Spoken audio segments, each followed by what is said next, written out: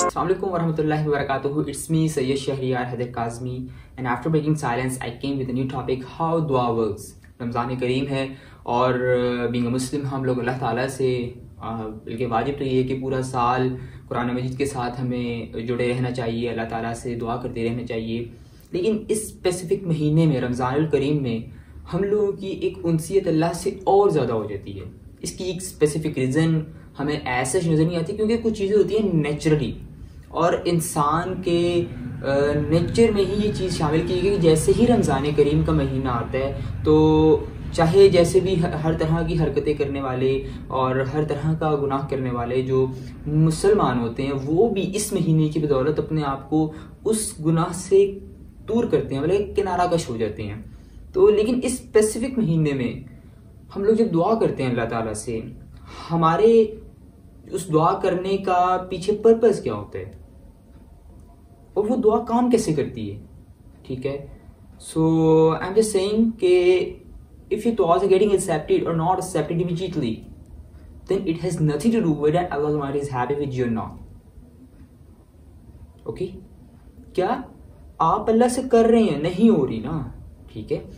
میں دعا کرتا ہوں، میری دعا قبول نہیں ہوتی۔ دو سال، چار سال، پانچ سال، سات سال میں کرتا رہتا ہوں، کرتا رہتا ہوں۔ قبول نہیں ہو رہی۔ اس کا مطلب یہ نہیں ہے کہ خدا تعالیٰ میرے سے بہت دور چلا گیا ہے۔ کبھی بھی اس کا مطلب یہ نہیں ہے۔ اور جیسا کہ ہم قرآن مجید میں دیکھتے ہیں کہ اللہ تعالیٰ فرماتے ہیں حضرت نوح کے بارے میں کہ حضرت نوح نے جب ان کی قوم پر عذاب آنے لگا تھا اور جب وہ کشتی بنا رہے تھے، ایک تو لوگ ان کو کہتے تھے ناؤز باللہ کہ یہ پاگل ہو چکے ہیں۔ تو کیا آپ نہیں سمجھتے کہ حضرت نو علیہ السلام وہ نبی جو کہ اپنے اپنی قوم کو دعوت دے رہے خدا کی طرف اور دوسرا اللہ تعالیٰ سے وہ التجا کرتے تھے کہ اے اللہ میرے ان بندوں کو جن کی طرف تو نے مجھے بھیجا ہے، ان کی راہ سنوارتے ان کو اپنی طرف بلا لے، ان کے دل میں اپنی محبت ڈال دے اور ان کو اس گناہ سے دور کر دے۔ کیا آپ نہیں سمجھتے تھے؟ لیکن اس کے باوجود ان کی بیوی اور ان کا بیٹا، دونوں کے دونوں اس عذاب الہی میں گرفتار ہوئے۔ So don't people think that he make a dua for his own child for his own wife وہ نبی جو اتنی دیر تک قرآن مجید میں مینشن ہے کہ نائن ففٹی ایئرس تک وہ اپنی قوم کو دعوت دیتے رہے۔ وہ انسان کہ who cared about his own nation about his own nation who invited his nation towards Allah and don't you think that he to make a dua for his own child for his own wife for his own family کیوں پھر بھی دعا قبول نہیں ہوئی۔ بلکہ دعا قبول نہیں، پھر بھی انہوں نے ہدایت نہیں پائی۔ کیوں؟ یہاں پر کوشچن ہمیشہ کیوں کا رائز کیوں ہوتا ہے ہم دعا کرتے ہیں، ہم ہر طرح کی ذلت سے گزرتے ہیں، ہم ہر طرح کی رسوائی سے گزرتے ہیں، مشکلات سے گزرتے ہیں، لیکن پھر بھی ہم لوگ اللہ تعالیٰ کو اسی وقت یاد کرتے ہیں۔ یہ ہماری اپنی کوتاہیاں ہیں کہ ہم اللہ کو اس وقت یاد جب ہم پریشان ہوتے ہیں۔ لیکن وہ ذات کیا فرماتی ہے سورہ باقارہ میں؟ کہ واحد صاحلہ کا عبادی انی فائن نہیں کری tell them I am new to them ٹھیک ہے؟ کیا؟ خیر میں تمہارے قریب ہوں، دعا کرو۔ لیکن بار الہا کیا ہم جو دعا کرتے ہیں تو اس کو قبول کیوں نہیں کرتا؟ اس کا ایک خوبصورت جواب امام سجاد علیہ السلام دیتے ہیں کہ، اے اللہ، میں دعا اس وجہ سے کرتا ہوں کہ تیرا حکم ہے مطلب میری کوئی اوقات نہیں ہے کہ میں تجھے اپنے بارے میں مشورہ دوں کہ میرے لیے کیا بہتر ہے کیا نہیں۔ تو میرا پالنے والا ہے تو میرا مالک ہے تو نے مجھے خلق کیا ہے تو بہتر جانتا ہے کہ اس مخلوق کے لیے کیا بہتر ہے کیا نہیں۔ میں تجھے کون کو کون ہوتا ہوں کہ جو تجھے اپنے بارے میں مشورہ دوں کہ بھائی یہ کرو میرے لیے یہ حق میں بہتر ہے یہ نہیں ہے۔ سملر کیس ہم یہاں پر دیکھتے ہیں حضرت یعقوب علیہ السلام کا۔ حضرت یعقوب علیہ السلام uh, who was the messenger of Almighty do you think he didn't make a dua for the children especially to حضرت یوسف علیہ السلام who was too much blessed. ایک یعقوب علیہ السلام ہے جو چالیس سال تک دعا کرتے ہیں، اور ایک طرف ایک طرف حضرت یوسف، حضرت موسیٰ کے والد ہیں، جو پانی میں اپنے بیٹے کو ڈالنے سے پہلے اللہ سے دعا کرتی ہیں after few hours before the second meal he came back to his mother. وہ آ جاتی ہیں اسی وقت. دعا کر دی فوراً قبول ہوگی.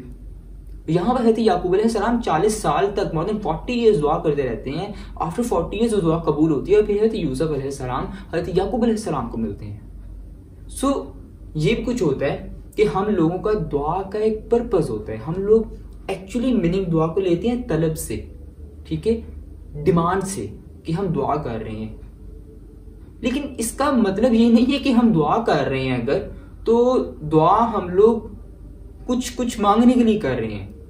پرپز یہ نہیں ہے it has nothing to do with that Almighty is happy with you or not literally it has nothing to do with then what is the purpose behind the dua کبھی اللہ تعالیٰ قرآن مجید میں فرماتے ہیں کہ ربی لا تذرنی فرتن وانت خیر الوارثین۔ کبھی دعا کہتے ہیں کہ یہ دعا کرو، ربی شرح لی صدری ویسر لی امری وحل لگتا من لسانی یفقہو قولی۔ کبھی کہتے ہیں کہ اما یجیب المستر رائے تعداہ یکشف السوء۔ کبھی کہتے ہیں لا الہ الا انت سبحانک انی کنت من الظالمین۔ کبھی کہتے ہیں رب رحمہما کما ربیانی صغیرہ۔ یہ ساری دعائیں اکٹھی ہو کر قرآن مجید میں اللہ تعالیٰ خود فرما رہے ہیں کہ یہ دعائیں کیا کرو۔ کبھی نوح کو کہہ رہے ہیں، کبھی موسیٰ کو کہہ رہے ہیں، کبھی ابراہیم کو کہہ رہے ہیں، کبھی حضرت یونس کو کہہ رہے ہیں۔ تو یہ سارے کے سارے ہونے کے باوجود بھی اللہ تعالیٰ ہماری دعائیں پھر بھی قبول نہیں کرتا۔ کیوں؟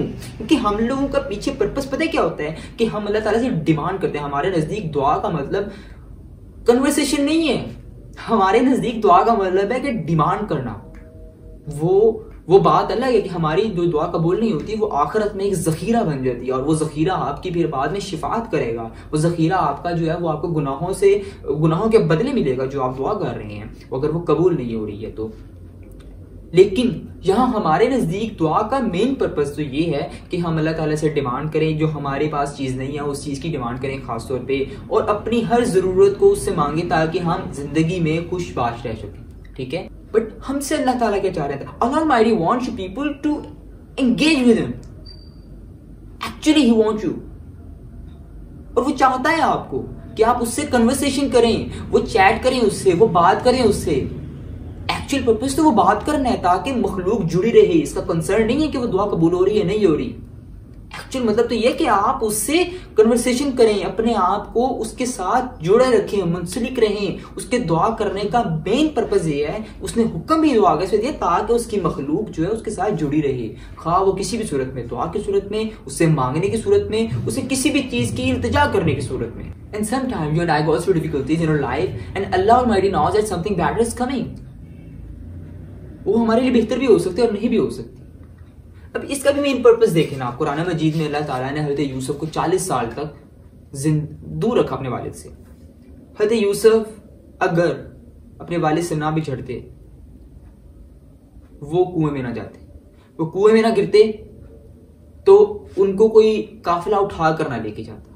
اگر وہ قافلہ اٹھا کر نہ لے کے جاتا تو وہ بازار مصر میں غلام بن کے سیل نہ ہوتے۔ اور اگر وہ غلام بننے کے سیل نہ ہوتے، تو وہ نہ زندان میں ہوتے اور اگر وہ زندان میں نہ ہوتے، تو وہ دو لوگ جو انہیں ملے تھے، جن کو خواب کی تعبیر بتائی تھی، وہ نہ ملتے اور اگر وہ نہ ملتے، تو وہ واپس جا کر بادشاہ کے خواب کو بتاتے نہ بادشاہ خواب کو نہ، بادشاہ کو نہ بتاتے کہ ایک تعبیر دینے والا بندہ زندان میں موجود ہے۔ اور اگر وہ زندان میں موجود ہے یوسف کو نکال کر باہر نہ لایا جاتا، تو پھر وہ دو خواب وہ دو وہ دو سال جو دیکھے، سات سات سال کے جو خواب دیکھے تھے، بادشاہ کے خواب کی تعبیر کیا تھی کہ سات سال جو آپ کے پاس خوشحالی کے ہوں گے، سات سال آپ کے پاس ایک ایسا وقت آئے گا جب آپ قحط میں ہوں گے، انتہائی مشکل سے سال سال گزرے گا اس وقت کا وہ، اس نیشن پہ۔ ٹھیک ہے؟ تو پھر وہ سات سال خواب کو تعبیر میں بہتر پہلے والے سال جو تھے، خوشحالی والے، اس میں پھر ذخیرہ کرنا سٹارٹ کیا تھا۔ یہ حضرت یوسف نے تعبیر دی تھی، اپنی حکمت عملی دی تھی۔ ایکچولی خدا تعالیٰ نے جو حکمت عملی تھی، وہ یہ تھی کہ حضرت یوسف کو زندان میں ڈالنا نہیں تھا۔ وہ اللہ تعالیٰ نے آنے والی نسلوں کو سیو کرنا تھا۔ He want to save the families thousand of the families that's way اس نے اس وجہ سے حضرت یوسف کو خواب، زندان میں ڈالا۔ پھر وہ خواب آیا۔ خواب کے ساتھ ایکچولی اس کا پرپس کیا تھا؟ اس نے چالیس سال بعد آنے والی نسلوں کو، آنے والے لوگوں کو سیو کرنا تھا۔ کس سے؟ وہ کسی بھی طرح کا کرائسس ہو سکتا تھا، وہ فائنینشلی ہو سکتا تھا، وہ ایجوکیشن لحاظ ہو سکتا تھا، وہ ہر طرح سے جتنے بھی کرائسس آنے تھے، اس سے سب سے سیو کرنا تھا۔ سو میں دعا کروں گا اللہ تعالیٰ سے کہ اللہ تعالیٰ ہمیں قرآن مجید کو پڑھنے، سمجھنے اور اس پر عمل کرنے کی توفیق کرنا چاہیں ملتا ہوں اپنی نیکسٹ ویڈیو میں، تب تک کے لیے آپ نے گھبرانا نہیں ہے۔ جب تک پھٹے پہ نہ لٹائیے اللہ حافظ۔